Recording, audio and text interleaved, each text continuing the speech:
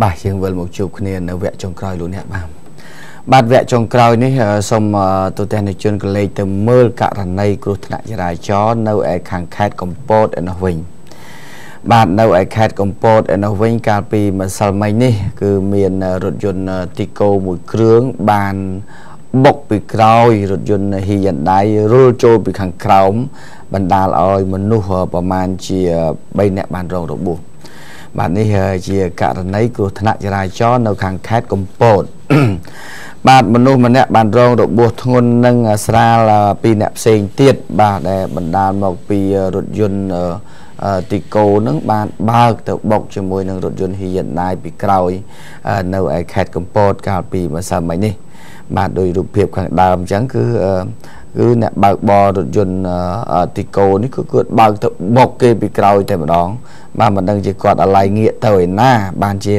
បានជាបើកទៅបុកគេពីក្រោយចឹងណាហើយឡាននោះកំពុងតែឡានហ៊ីយ៉ាន់ដាយនោះកំពុងតែ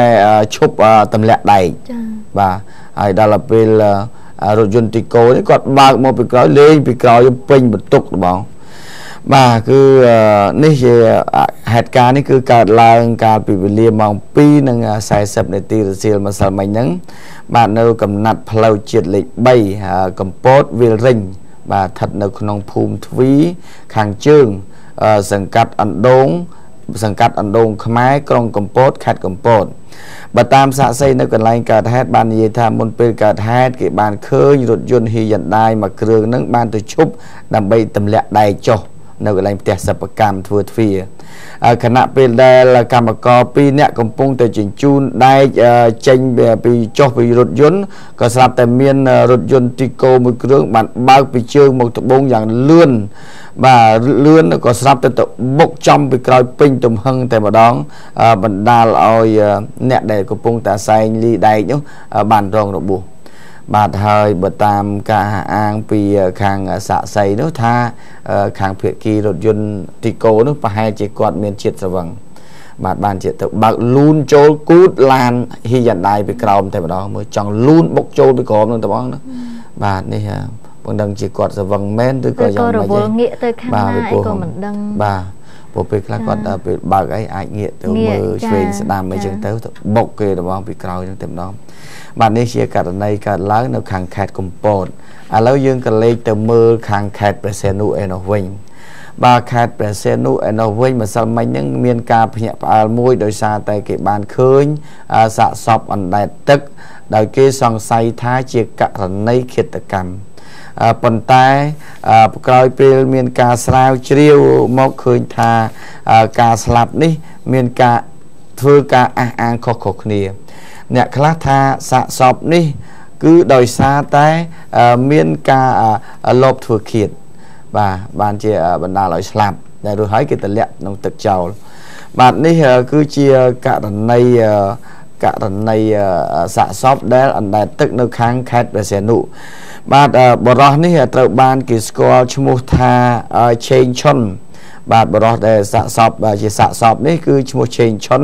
អាយុ38ឆ្នាំ មុខរបរជាកម្មករការដ្ឋានសៀងថ្ម ដែលមានសុខកំណើតនៅភូមិក្បាលសិលានៅភូមិក្បាលសាលាឃុំអូសារាយស្រុកត្រាំកក់ខេត្តតាកែវ បាទហើយគាត់មានកូនចំនួន4នាក់នៅក្នុងបន្ទុកបាទហើយដែលកន្លែងដែលដែតនេះគឺនៅក្នុងការដ្ឋានសៀងថ្មនៅក្នុងភូមិ2បាទនៅក្នុងក្រមទី6ភូមិ2ឃុំកំពេញស្រុកស្ទឹងហាវខេត្តព្រះសីហនុ បាទបើតាមការអាងពីដែលអ្នកចិត្តខាងនៅទីនោះបាននិយាយថាតាមពិតទៅបរោះនេះមុនដំបូងបានផឹកស៊ីជាមួយនឹងបងប្អូនប្រហែលជាគ្នា4ទៅ5នាក់ផឹកស៊ីសបាយកាលពីថ្ងៃ20 23 24នោះបាទ23 24នោះ បាទផឹកស៊ីសបាយជាមួយបងប្អូនប្រហែលជា4នាក់បាទដល់ពេលក្រោយពេលផឹកហើយគេក៏ត្រឡប់ទៅផ្ទះវិញប៉ុន្តែភាគីខាងជនរងគ្រោះនេះគាត់ថាបន្តទៅផឹកទៀតបាទប៉ុន្តែមិនដឹងជាទៅផឹកឯណាទេក្រោយពេលដែលចាប់ដើមទៅផឹកបន្តទៀតក៏បាត់តំណែងឈឹងពីពេលនោះមកម្លងបានប្រហែលជា2ទៅ3ថ្ងៃទៅហើយគុំគ្រួសារដើររកមិនឃើញសោះ ប៉ុន្តែដោយសារតែបាត់យូរពេកដើររទៅស្រាប់តែឃើញគាត់នឹងសាកសពនេះដែតនៅក្នុងទឹកកន្លែងការដ្ឋានជូងថ្មហ្នឹងបាទហើយបើតាមការធ្វើកសលវិច័យរបស់ប៉ូលីសបាននិយាយថាសាកសពនេះមិនមានអ្នកណាធ្វើឃាតទេបាទគឺជាការស្រវឹងឲ្យគាត់ស្រវឹងខ្លាំងគាត់ដើររអិលជើងធ្លាក់ចូលទៅក្នុងអឺ បឹងនៅក្នុងដែលការដ្ឋានកន្លែងស្រះទឹកនេះតែម្ដងទៅ បាទនេះបើតាមការពិនិត្យកសលវិច័យរបស់សមត្ថកិច្ចប៉ុន្តែខាងសាច់ញាតិបងប្អូនខ្លះបានលើកឡើងថាអាចជាករណីឃាតកម្មសម្លាប់ទម្លាក់ទឹកពេលព្រោះនៅលើស្លាកស្នាមនៃសាកសពឃើញស្នាមបែកមុខបែកមាត់បាទហើយនឹងស្នាមរយះដៃជើង ប៉ុន្តែសមត្ថកិច្ចបានបញ្ជាក់ថាការបែកមុខបែកមាត់នេះដោយសារតែគាត់ដើររអិលជើង រមៀលតាមរស់នឹងសិតតែថ្មចា៎បាទរមៀលទៅវាប៉ះចឹងហើយបាទអញ្ចឹងការសន្និដ្ឋានរបស់ប៉ូលីសថាមិនមែនជាករណីឃាតកម្មទេ គឺជាការស្រវឹងដោយខ្លួនគាត់ដើររអិលធ្លាក់ចូលក្នុងស្រះទឹកនឹងតែម្ដងបាទនេះជាករណីសាកសពស្លាប់អណ្ដែតទឹកនៅខាងខេត្តព្រះសីហនុ បាទឥឡូវនេះសិលាសូមបន្តទៅរឿង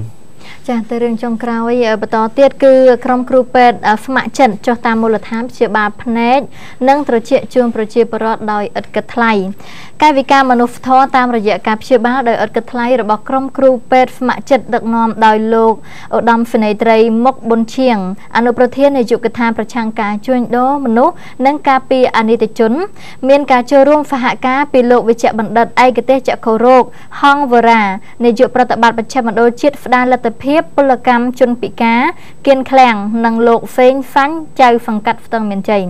ក្រុមគ្រូពេទ្យស្ម័គ្រចិត្តរបស់មជ្ឈមណ្ឌលជាតិផ្ដាល់លទ្ធភាពពលកម្មជនពិការគៀនឃ្លាំងបានចុះទៅព្យាបាលភ្នែកនិងត្រចៀកជូនប្រជាពលរដ្ឋដោយឥតគិតថ្លៃនៅក្នុងសង្កាត់ស្ទឹងមានជ័យខណ្ឌមានជ័យកាលពីព្រឹកថ្ងៃទី25មិថុនាលោកហ្វេងហ្វាញ់ចៅសង្កាត់ស្ទឹងមានជ័យបានឲ្យដឹងថាការព្យាបាលដោយឥតគិតថ្លៃរបស់ក្រុមគ្រូពេទ្យស្ម័គ្រចិត្តនេះគឺធ្វើឡើងតែមួយថ្ងៃនេះទេដោយជួយព្យាបាលជំងឺភ្នែកនិងត្រចៀកចំពោះការព្យាបាលភ្នែកបើហ្វិនជាត្រូវធ្វើការបើហ្វិនជាត្រូវធ្វើការវះកាត់ក្រុមគ្រូពេទ្យនឹងបញ្ជូនទៅធ្វើការវះកាត់នៅមជ្ឈមណ្ឌលផ្ទាល់តែម្ដងប៉ុន្តែបើធ្វើការវាស់ភ្នែកទៅឃើញថាត្រូវតែពាក់វ៉ែនតាក្រុមគ្រូពេទ្យនឹងចេះជូនវ៉ែនតាដោយឥតគិតថ្លៃភ្លាមភ្លាមជូនតែម្ដងដែលឡែកចំពោះការព្យាបាលត្រចៀកវិញក៏ដូចគ្នាបើហ្វិនជាថ្លង់មិនអាចស្ដាប់ឮខាងគ្រូពេទ្យនឹងឲ្យកាសដែលជាឧបករណ៍ស្រូបសំឡេងជូនដល់ពួកគាត់ភ្លាមភ្លាមតែម្ដងដែរប៉ុន្តែបើត្រូវធ្វើការវះកាត់ត្រចៀកនិងបញ្ជូនទៅព្យាបាលនៅឯមន្ទីរពេទ្យអង្គឌួងក្រុមគ្រូពេទ្យស្ម័គ្រចិត្តនេះគឺបានបន្តសកម្មភាពនៅគ្រប់ទីកន្លែងទាំងអស់ទាំងនៅក្នុងរាជធានីភ្នំពេញក៏ដូចជាតាមបណ្ដាខេត្តដាច់ស្រយាលចាហើយក្រុមគ្រូពេទ្យស្ម័គ្រចិត្តក៏តែងតែចុះទៅជួយប្រជាពលរដ្ឋដល់ទីលំនៅឋានតែម្ដងដើម្បីងាយស្រួលដល់ប្រជាពលរដ្ឋដែលមានជំងឺហើយគ្មានលទ្ធភាពទៅព្យាបាលនៅឯមន្ទីរពេទ្យនានា បាទនេះយើងចង់បញ្ជាក់អំពីជំនួយមនុស្សធម៌សម្រាប់ព្យាបាលប្រជាពលរដ្ឋដោយឥតគិតថ្លៃបានជាខ្ញុំចង់ជម្រាបជូនព័ត៌មាននេះកុំឲ្យលោកអ្នកថាអេលោកទីមិនក៏ព័ត៌មានសន្តិសុខសង្គមសុខសុខសាប់ទៅទៅណារឿងផ្សេងណាស់ទៀតបាទតាមពិតចង់ជម្រាបជូនឲ្យលោកអ្នកដែលមានបំណងថាគាត់ខ្វះខាតលុយអីចឹងណាបាទអញ្ចឹងគេមានគ្រូពេទ្យគេស្ម័គ្រចិត្តព្យាបាលភ្នែក ព្យាបាលតិចដោយអត់គិតលុយបាទអត់គិតថ្លៃទេ បាទប៉ុន្តែសូមឲ្យខាងគ្រូពេទ្យហ្នឹងចុះឲ្យគ្រប់ឃុំសង្កាត់ទៅប្រជាពលរដ្ឋសប្បាយចិត្តបាទថាបាទព្យាបាលថ្មិញតែមទៀតបាទព្រោះមានជំងឺថ្មិញច្រើនបាទដកថ្មិញដោយអត់គិតលុយ ហើយខាងខ្ញុំបានតែដកឲ្យអត់ព្យាបាលទេបើដកធានាមកខ្ញុំខ្ញុំដកឲ្យមកនិយាយអីដកទៅកាប់ដកបាទអញ្ចឹងបានគេមានរឿងមានរឿងកំ pl ែងមួយគេថាចេះអឺសាប់តាម្នាក់ហ្នឹងគាត់ឈឺថ្មិញដល់ពេលឈឺថ្មិញគាត់ទៅឲ្យពេទ្យដកបាទពេទ្យថ្មិញឯកជនគេដកបាទដល់ទៅដល់ទៅមើលគេដាក់តម្លៃដកថ្មិញមួយ20000 20000រៀលចាបាទ ដល់ពេលអញ្ចឹងគាត់ក៏ចូលទៅដកវាឈឺពេកដល់ពេលចូលទៅដកស្រាប់តែចាប់ដើមចូលទៅដកពេទ្យគេពិនិត្យអីទៅហើយគេចាប់ដើមដកចាដល់ពេលចាប់ដើមដកទៅវាឈឺពេកវាស្រែកខ្លាំងដល់ស្រែកខ្លាំងអូយអូយអូយដល់ស្រែកខ្លាំងដកឲ្យហើយបានសម្រាប់ចាស់ទៅហើយគេព្យាបាលឯរុំអីដាក់ថ្នាំពឹកដាក់អីហើយអង្គុយទៅហើយដល់គិតលុយគិតលុយពី40000មិនអញ្ចឹងគិត40000ដល់ពេលអញ្ចឹងឆ្លោះគ្នាមិន ដាក់នៅលើនៅនៅលើផ្សាយនៅអាកន្លែងចាជាងនេះមិញមួយ20000បាទដល់ទៅពេលចាប់ផ្ដើមគិតលុយហេតុអីបានជាកោខ្ញុំថាខ្ញុំនឹងអត់ចេះសោះហើយបាទយមិនយក40000តែយក40000រឿងរ៉ាវហ្នឹងប្តឹងដល់ប៉ូលីសទៀតមែនណាបាទរឿងមែនតែនប្តឹងដល់ប៉ូលីសទៀតដល់ពេលប៉ូលីសមកដល់អឺចាប់ផ្ដើមជួបជាមួយនឹងខាងអ្នកដកថ្មិញហ្នឹងសួរសម្រាប់ចុងក្រោយគាត់ថាអឺតាមពិតត្រូវហើយខ្ញុំដកថ្មិញមួយអឺ 20000រៀលទេចាប៉ុន្តែហេតុអីបានជាខ្ញុំយក40000ពីព្រោះនៅពេលដែលខ្ញុំចាប់ផ្ដើមដកហ្នឹងឯងគាត់ស្រែកខ្លាំងពេកដែលធ្វើឲ្យមួយម្នាក់ទៀតដែលកំពុងរៀបចំដកដែរគេរត់ចេញទៅអូបាទអញ្ចឹងគេធ្វើឲ្យផ្អើលអាមួយរបស់គេគេថ្លង់គេគេទៅបាត់ទៅមកទៅបាត់ទៅដល់ពេលអញ្ចឹងពេទ្យគាត់គិតអាអ្នករត់ចេញទៅដែរ មែនណាអឺមិនដែរទេដែលនេះបានធ្វើឲ្យដែលបាទអញ្ចឹងគិតអាអ្នករត់អ្នករត់ចេញទៅបាត់ទៅនោះតែនោះវាថ្លង់ពេកស្រែកយាយស្រែកម្លឹងម្លឹងជិលដកមកទៅវិញអញ្ចឹងពេទ្យគិតធាក់បោកជាមួយនឹងអ្នករត់ចេញទៅខ្ញុំស្មានតែថាដកមកទៅពេលខំប្រឹងកធាក់ខ្លាំងពេកដោយសារថ្មីងក៏ចុះឬបាក់ថ្មីងគ្រូពេទ្យមែនទេចឹងហ៎មែនទេគឺអូគឺគាត់ថាគឺផ្អើលអញ្ចឹងទេគាត់គិតអាអ្នករត់ចេញទៅនោះគាត់ថាខាត់មួយបាទឥឡូវនេះលោកអ្នកអឺដោយសារតែពេលវេលារបស់យើងដល់ទីបញ្ចប់ទៅហើយតាមពិតចង់អឺបន្តនិយាយរឿងទៀតច្រើនទៀតដែរ មានរឿងកំ pl ែងច្រើនទៀតដែរតែជិលព្រោះថ្ងៃស្អែកថ្ងៃយុទ្ធនាការឃោសនាបោះឆ្នោតបាទគណៈបកនយោបាយដែលត្រូវជ្រើសរើសអឺឋានៈដឹកនាំដែលយើងស្រឡាញ់ហើយលោកអ្នកដែលចង់បោះឆ្នោតនឹងបោះឆ្នោតឯណាទេចាបោះឆ្នោតឲ្យគណៈបកដែលយើងស្រឡាញ់ចាបាទគណៈបកណាដែលលោកអ្នកស្រឡាញ់បាទបោះទៅពេញចិត្តចាគិតថាអឺ គណៈបកនេះអឺថ្នាក់ដឹកនាំមួយនេះអាចជួយយើងបានអឺទាំងការអភិវឌ្ឍប្រទេសទាំងការអឺហេដ្ឋារចនាសម្ព័ន្ធទូទាំងប្រទេសដែលយើងអាចថាអឺជីវភាពរបស់យើងទូទាអាហ្នឹងយើងបោះទៅយើងបោះឆ្នោតឲ្យគណៈបកណាដែលយើងពេញចិត្តហើយគណៈបកណាដែលយើងស្រឡាញ់ចា៎បាទបោះចោះបាទខ្ញុំក៏ចឹងដែរយ៉ាងជាពលរដ្ឋរបស់យើងត្រូវបំពេញកាតព្វកិច្ចនៃការបោះឆ្នោតហ្នឹងគឺទាំងអស់គ្នាបាទអឺ